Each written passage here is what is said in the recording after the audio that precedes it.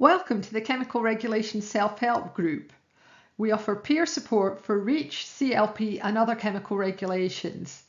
This was a brief introduction to the group that I gave at Chem UK 2024 on stage one on the 15th of May 2024 at four o'clock.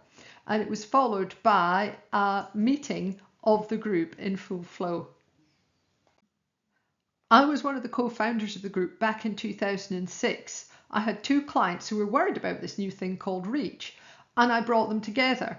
And our founding principle was to find the legal pathways through REACH that kept as many chemical businesses going as possible, because that was my client base.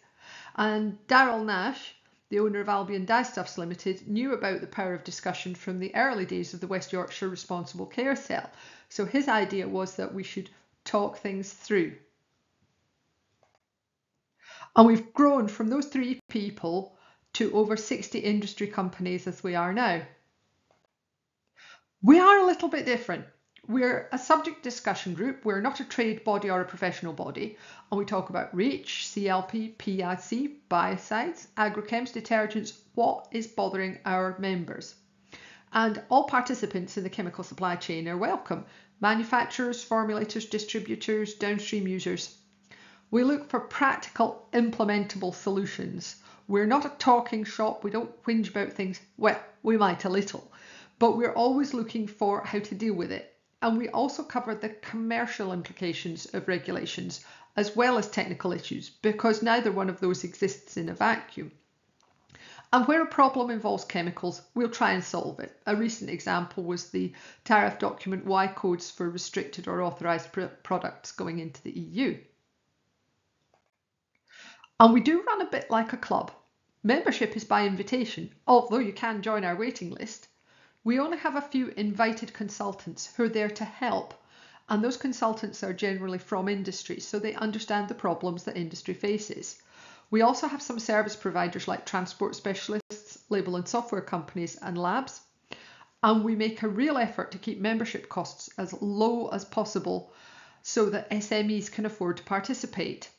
And because every company pays the same, we all have the same voice in the meeting. And a nice thing that also happens is that larger companies also provide their expertise to the smaller members. We have a lot of supporters too. We've got links to many trade organisations, particularly CBA, BCF, CIA and so on. The Department of Business and Trade attend meetings regularly.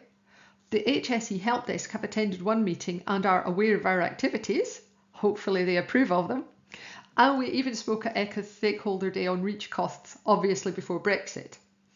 And at Chem UK, we were extremely lucky to have been donated a stand to help raise awareness of how we help the chemical and downstream industries. And thank you very much again to Ian and Ginny Stone and their team.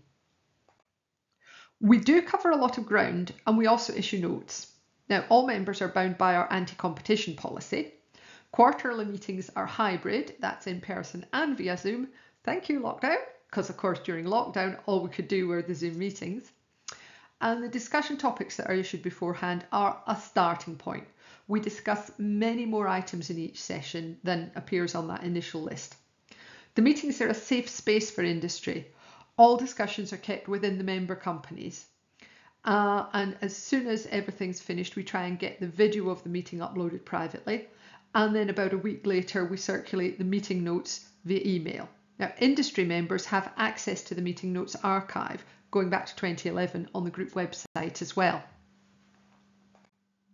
Hospitality is very important to us. We usually meet at a golf club, not a corporate venue. And what we found very quickly was that discussions at break and meal times always spark ideas and solutions. So we always have lunch, including a Christmas lunch in December. And of course, our signature snack is the Jaffa cake. So new member applications are very welcome.